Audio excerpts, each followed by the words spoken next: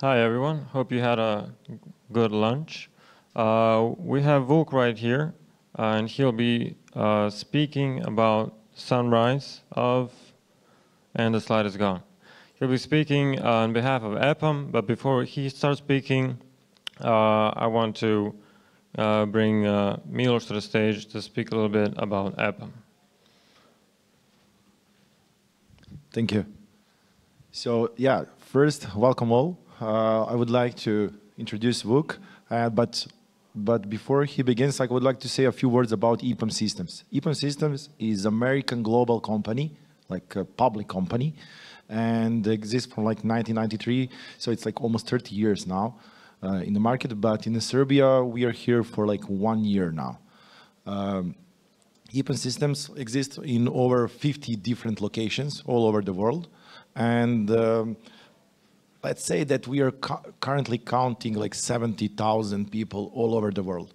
In Serbia, we have about 700 people, uh, and we have offices in Belgrade and Novi Sad. But, uh, but as you already know, that all almost all IT companies are supporting like remote work.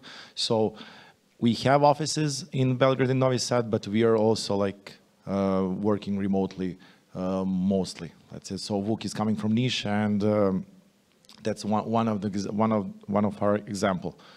Uh, we have our stand on the ground floor. So if you have any questions uh, regarding EPAM, regarding like what we're doing, uh, who are our clients, like uh, feel free to to to step by, and uh, we will try to answer on all of your questions.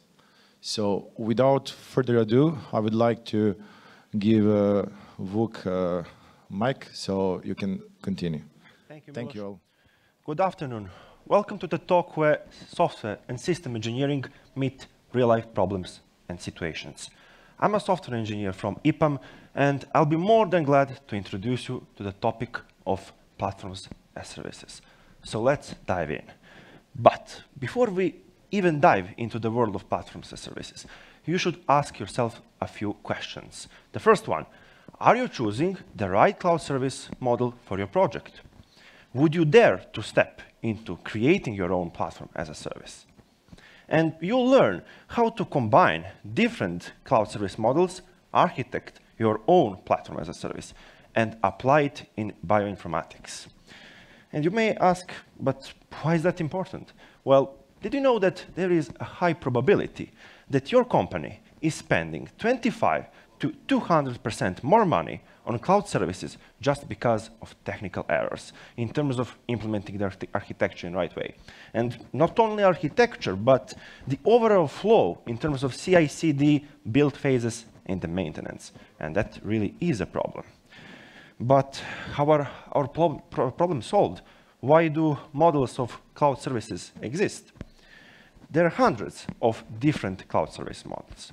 But it all comes down to four base ones. Now, if you take a look at history of cloud services, you would notice how new cloud service providers really are. They are constantly evolving, but uh, and I mean each day they're providing something new for you, of course, and for an applicable price.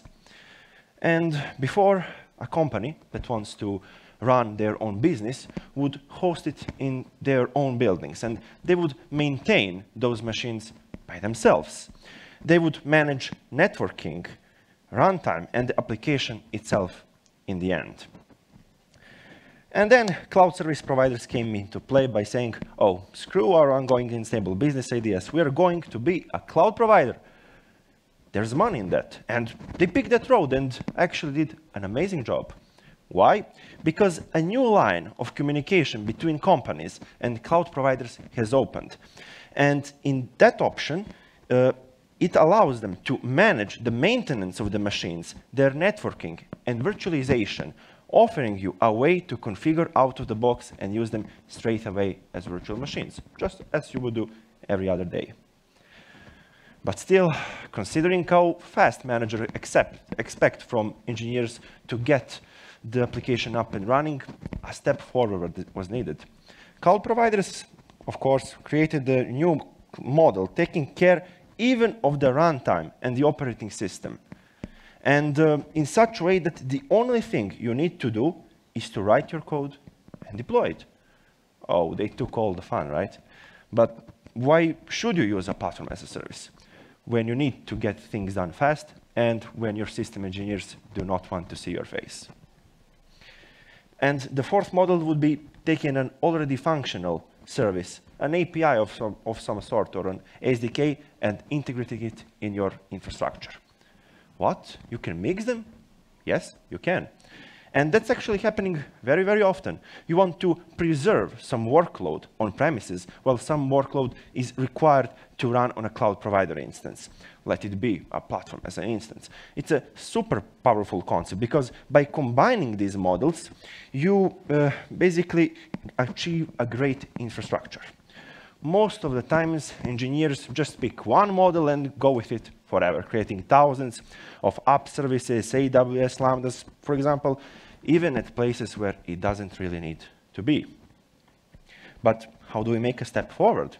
What is the next step? Well, let's analyze platforms as services even deeply. Platforms as services have two outlets. One of them is a software as a service outlet, meant to be used by the person who's setting up the environment.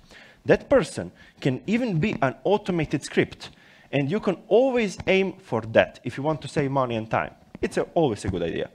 Since it's a good choice for APIs, the other outlet is the one where you, where you are plugging in the rest of your infrastructure. It can be your presentation layer, so it can be a front end, but it can also be your on-premise, or it can even be an infrastructure as a service, or a platform as a service. Why not? Combining those models optimizes the the expenses. So if you want to be a cloud provider, you need to make sure that this part, basically this side, that on that side, everything is encapsulated behind those two outlets, and that those two outlets have a proper API and SDK for setting up. So those are the very, very basic steps. And also, offering different types of sources for, uh, for your application allows you to create a perfect CI-CD flow in other models, uh, for each environment, you'd have a different machine running. And um, it's technically the same behind the scenes if you take a closer look at platforms and services, but it's abstracted out. So it is given to you as a single service when, where you can easily manage it.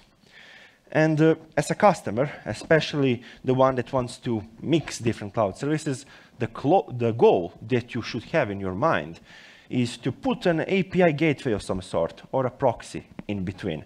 And you can connect this part, of course, can be the presentation layer or any other service as well. And it's like a connector of all those components. And of course, you can then have a nice overview of available environments and endpoints. Don't forget, don't forget, those are cloud service providers through software as a service outlet, you should allow your customers to adapt the platform to, as a service to their needs. What does that mean?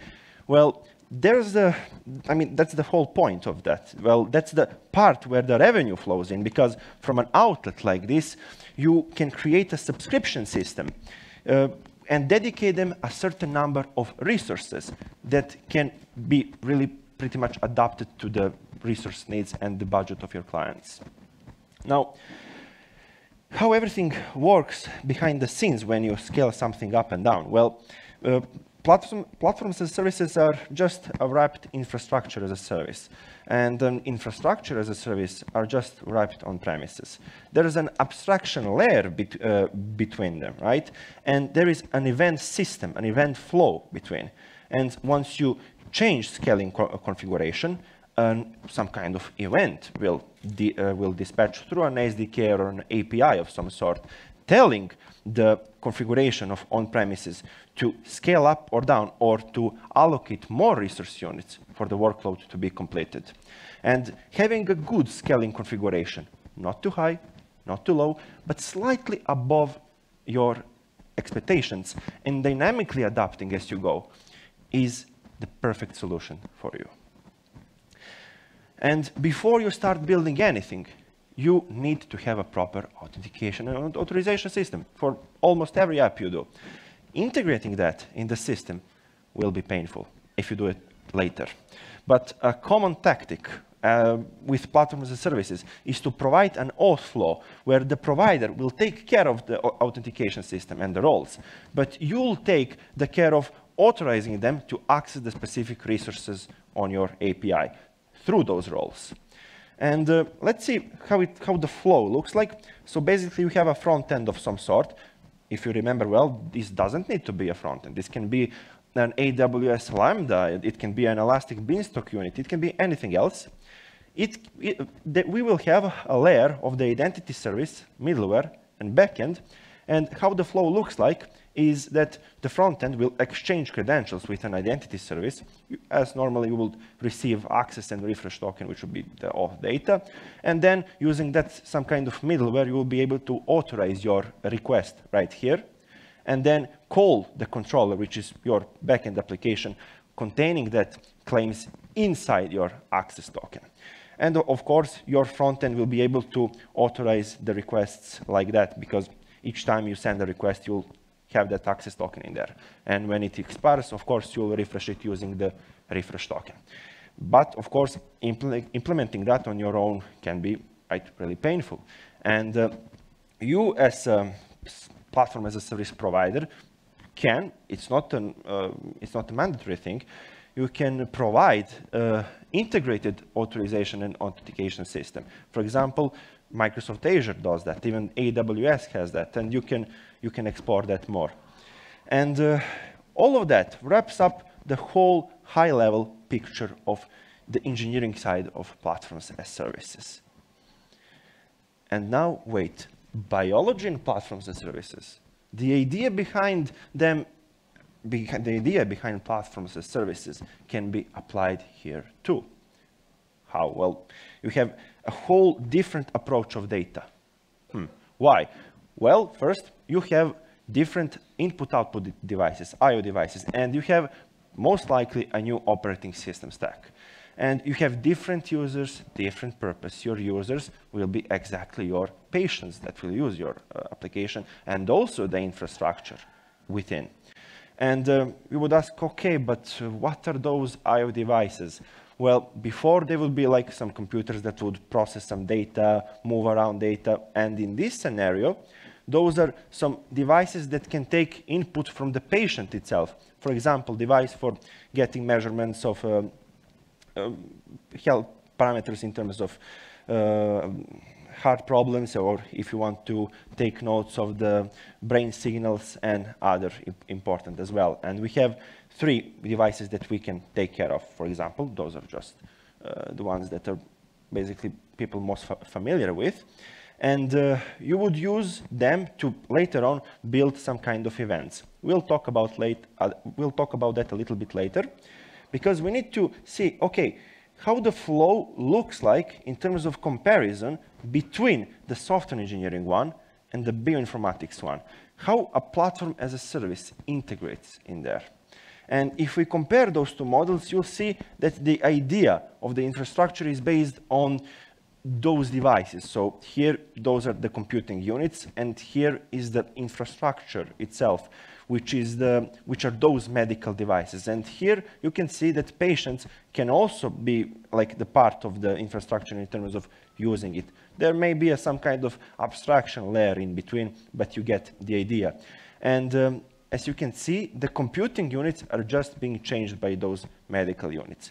And the event flow remains the same, where basically the core part is in, in this model are those medical units because it heavily depends on the data that they, that they produce.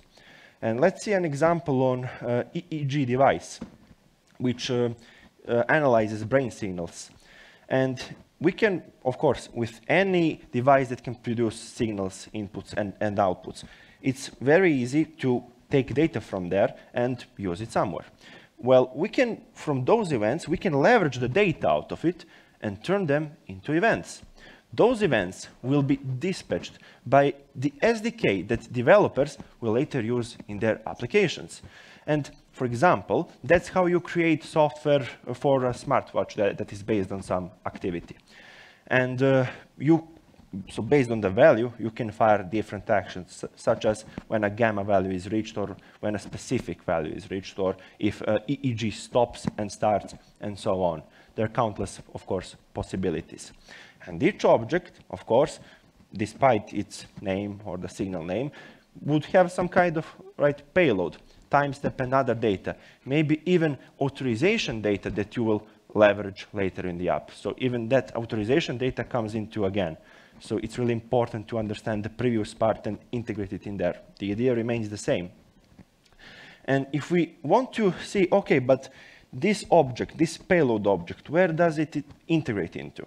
Well, if we take a look at the whole flow again, you can see that payload is right between the platform and the infrastructure. It is being exchanged in that event flow that we mentioned be, be, before. And later on, developers that are building software as a service on that platform as a service that is being sold can easily leverage that through SDKs. If you take a look, uh, the same thing happens, for example, with AWS SDK. You have an SDK of some sort. Why not have it in, in the medical industry too, right? We can have many countless possibilities. And with this idea, the industry can use uh, basically an and abstract out platform as services and the, that part with the infrastructure, which means that this whole graph, this whole idea can be applied to any industry you want as soon as you have the data and the ability to uh, transfer it from the infrastructure and the platform so your developers can use it. And if we want to wrap everything up, on-premises are not bad. Mix your services, create an efficient infrastructure of various models and, and optimize your costs. Cloud services are your building blocks. Remember that. So from an infrastructure as a service, you will build up a platform as a service. And aim for the modularity and avoid overusing some mo uh, models. Each of them exists for a reason. And of course, as seen before, the idea can be applied really in any industry. Thank you for listening. Let me know if you have any questions. You can also, if you have any other questions, contact me on LinkedIn. Thank you.